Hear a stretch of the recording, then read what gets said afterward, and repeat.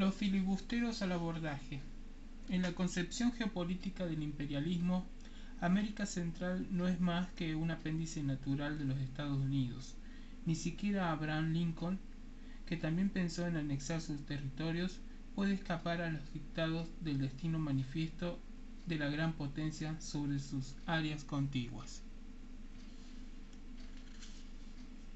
A mediados del siglo pasado, el filibustero William Walker que operaba en nombre de los banqueros Morgan y Garrison, invadió Centroamérica al frente de una banda de asesinos que se llamaban a sí mismos la Falange Americana de los Inmortales.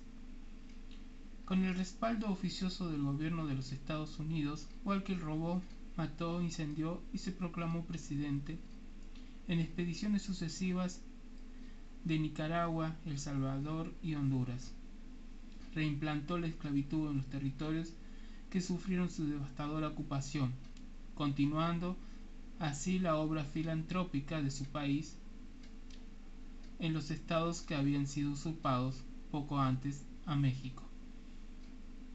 A su regreso fue recibido en los Estados Unidos como un héroe nacional.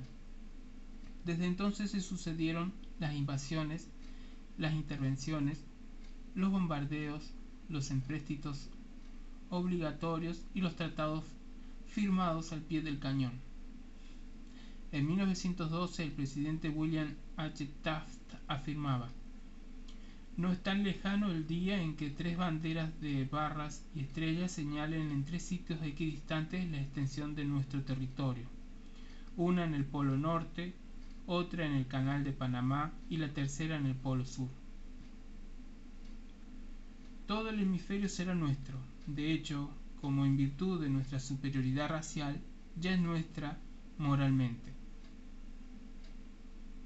Taft decía que el recto camino de la justicia en la política externa de los Estados Unidos no excluye en modo alguno una activa intervención para asegurar a nuestras mercancías y a nuestros capitalistas facilidades para las inversiones beneficiosas.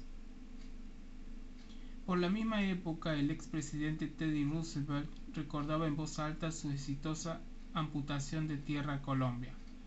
I took the canal, decía el flamante Premio Nobel de la Paz, mientras contaba cómo había independizado a Panamá.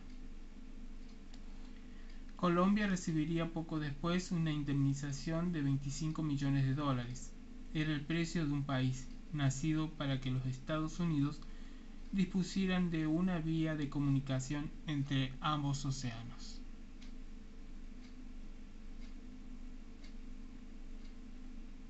Las empresas se apoderaban de tierras, aduanas, tesoros y gobiernos. Los marines desembarcaban por todas partes para proteger la vida y los intereses de los ciudadanos norteamericanos coartada igual a la que utilizarían en